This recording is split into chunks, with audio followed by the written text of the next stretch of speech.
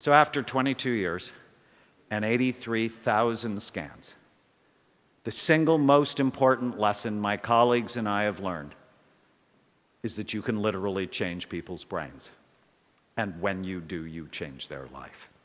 You are not stuck with the brain you have. You can make it better, and we can prove it. My colleagues and I performed the first and largest study on active and retired NFL players, showing high levels of damage in these players at a time when the NFL said they didn't know if playing football caused long term brain damage. The fact was, they didn't want to know.